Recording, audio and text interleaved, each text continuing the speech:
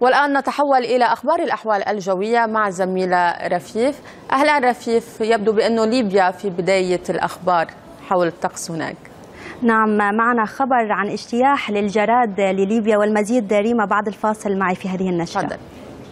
أهلا بكم من جديد. أبدأ معكم من ليبيا وأسراب من الجراد الصحراوي تجتاح منطقة زوارة شرق مدينة زليتن. وأفاد مسؤول قطاع الزراعة والثروة الحيوانية والمائية بأنه تم مخاطبة الجهات المسؤولة في الدولة لتوفير ما يلزم من معدات ومبيدات لمكافحة هذه الآفة طبعا لما تشكله من خطورة على المنتجات الزراعية.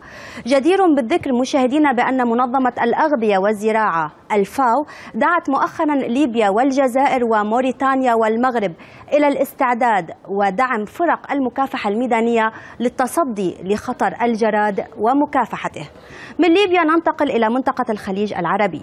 يبدو بأن أجزاء متفرقة من شبه الجزيرة العربية معرضة هذه الليلة لهطول المزيد من الأمطار. ففي السعودية تحمل الساعات المقبلة أمطار رعدية على جنوبي منطقتي الرياض والشرقية ونجران وجازان وعسير ومنطقة المدينة المنورة ومكة المكرمة. وبصورة أقرب مشاهدينا تمتد هذه السحب المحملة بالأمطار لتطال كافة أرجاء سلطنة عمان والإمارات واليمن. طبعا متوقع معها هطول أمطار متفرقة خلال الساعات المقبلة.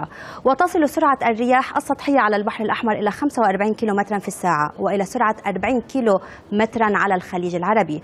تكون هذه الرياح مثيرة للغبار والأتربة تتدنى معها الرؤية الأفقية أحيانا. وفي الإمارات مشاهدينا هكذا بدت الأجواء وهكذا بدت مدينة دبي. هذا اليوم أمطار خفيفة هطلت على مناطق متفرقة تفاوتت نسبتها من إمارة إلى أخرى. ويصاحب هذه الأجواء الغائمة في الإمارات انخفاضا ملحوظا في درجات الحرارة خصوصا خلال فترة الليل ومع ساعات الصباح الباكر.